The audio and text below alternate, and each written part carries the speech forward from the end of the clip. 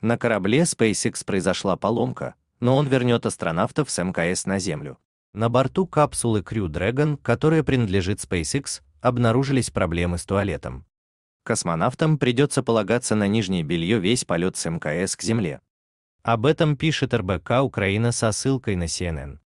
Группе из четырех космонавтов, которая должна вернуться с МКС к Земле, придется обходиться без туалета на протяжении всего полета. Как отметил менеджер программы коммерческих экипажей НАСА Стив Стич, астронавтам придется полагаться на нижнее белье. В то же время проблемы с туалетом космического корабля зафиксировали еще в прошлом месяце. Тогда компания обнаружила, что трубка, которая перекочевает мочу в резервуар для хранения, отклеилась, что привело к протеканию.